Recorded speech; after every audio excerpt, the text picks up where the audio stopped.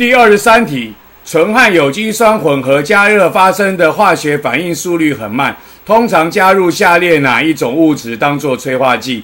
有机酸加醇会产生酯加水，叫酯化反应。酯化反应呢，通常是用加入浓硫酸当做催化剂，因为呢，有机酸加醇，酸加醇会产生所谓的酯加水。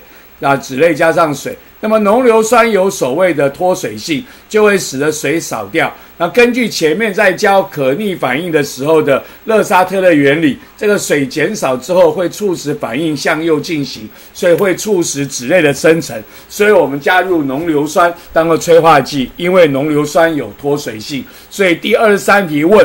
纯和有机酸混合加热发生的化学反应速率很慢，通常加入下列哪一种物质当做催化剂？我们答案选的是 A 浓硫酸。我们用浓硫酸当做酯化反应的催化剂，因为它有脱水性。